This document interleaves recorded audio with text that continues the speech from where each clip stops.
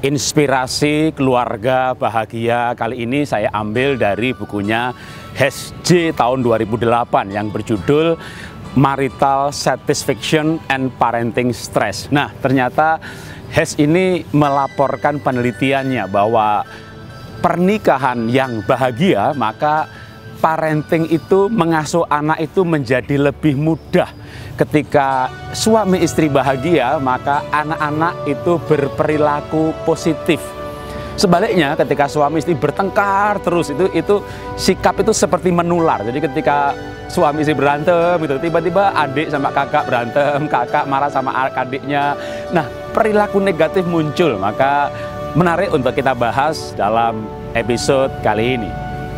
Di dalam keluarga itu berlaku hukum bahwa sikap itu menular ketika suami istri saling mencintai ya.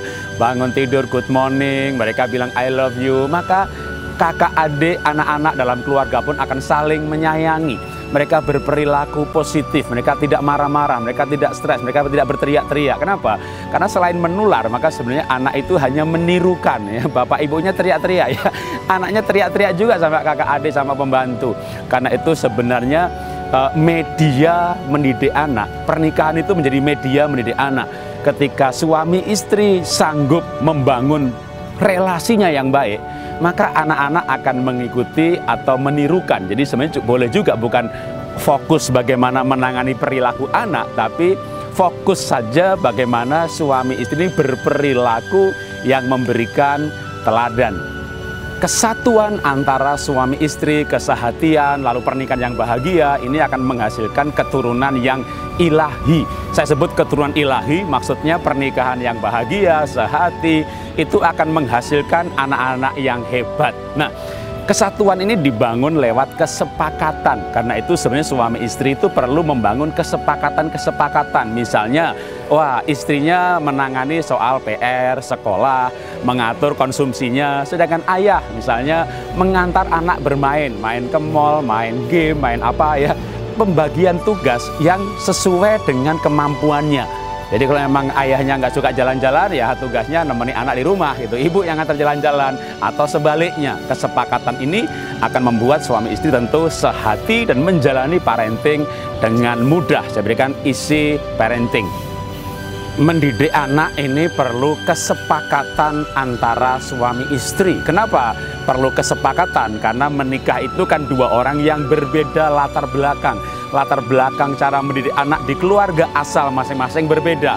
Maka bangun kesepakatan-kesepakatan baru, diskusikan dengan baik-baik, dengan bijaksana, lalu bagilah tugas mana yang tugas suami, mana yang tugas istri, tugasnya itu berdasarkan minat, bakat, dan kemudahan masing-masing.